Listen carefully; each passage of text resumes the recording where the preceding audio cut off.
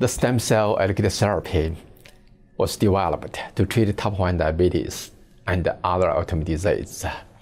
This method was developed to explore the molecular mechanism underlying immune modulation of stem cell therapy through CBSC released exosomes. This protocol provides guidance on how to purify exosomes from human cord blood stem cell cultures and determine their immune modulation on monocytes.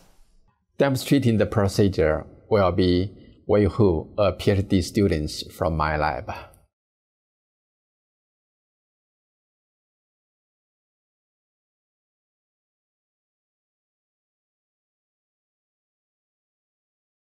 To begin, centrifuge the CBSC derived conditioned medium three times as described in the text manuscript, collecting the supernatant into a new 50 milliliter conical tube after each centrifugation.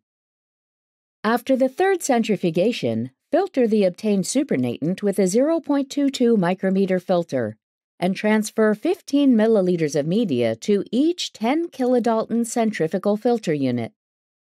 Centrifuge at 4000 times G for 30 minutes to isolate the concentrated exosome media. Transfer the concentrated exosomes to an ultracentrifuge tube, then pellet the exosomes at 100,000 times G for 80 minutes at 4 degrees Celsius. Then discard the supernatant and resuspend the pelleted exosomes in 10 milliliters of PBS. Perform a final ultracentrifugation to collect the exosome pellet and resuspend it in 200 microliters.